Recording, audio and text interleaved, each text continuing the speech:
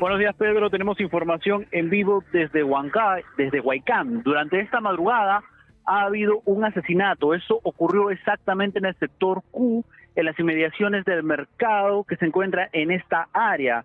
Precisamente es el mercado 21 de junio. ¿Qué es lo que ocurrió en este sector? Había una mototaxi con un joven dentro que se encontraba estacionada en esta área cuando de pronto los testigos narran que se acercan dos personas completamente vestidas de negro, de contextura bastante gruesa, quienes se acercan al joven eh, empiezan a hablar con él y de pronto uno de ellos empieza a dispararle.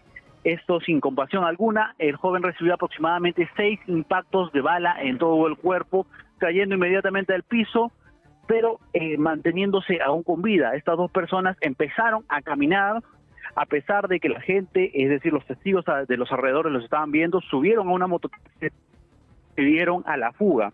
Hasta el lugar llegaron eh, parte de los agentes policiales de la comisaría de Huaycán, quienes procedieron a trasladar a la víctima al hospital de, de Huaycán para que pueda ser eh, tratado. Desafortunadamente, esta persona murió de camino al hospital. Eh, la víctima ha sido identificada como Luis Alberto Calderón Ono, de 26 años, también conocido en este sector como Sopa. Según fuentes policiales, esta persona ya tendría antecedentes eh, referentes a la microcomercialización de droga en esta área, el sector Q de Huaycam.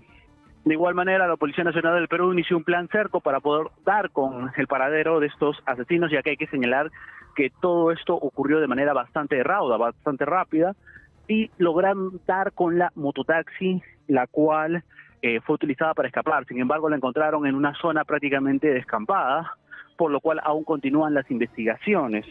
De igual manera, hay que señalar de que eh, el vehículo, tanto como los otros datos fueron trasladados de manera inmediata a la comisaría donde aún se encuentran ahí.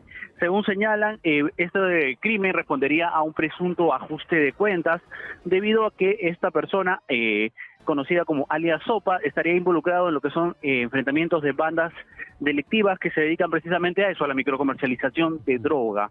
Producto de este enfrentamiento sería de que la banda, en este caso rival, habría eh, dado con el paradero de esta persona, lo habrían buscado y habrían acabado con su vida. Esta es la información que tenemos en vivo desde Huaycán, informó Giancarlo Cesarego, para Éxitos en Lima, los 95.5 de la FM, exitosa la voz que integra al Perú.